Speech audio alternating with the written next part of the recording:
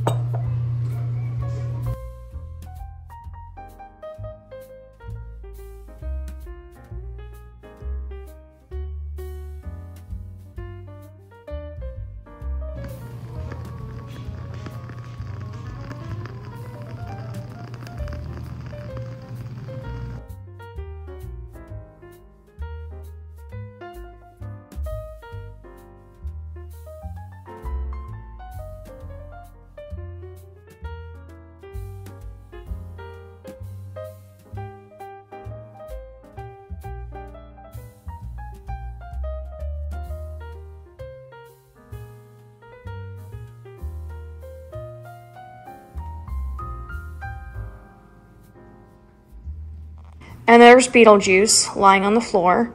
But that is the completion, sort of, of the kitchen.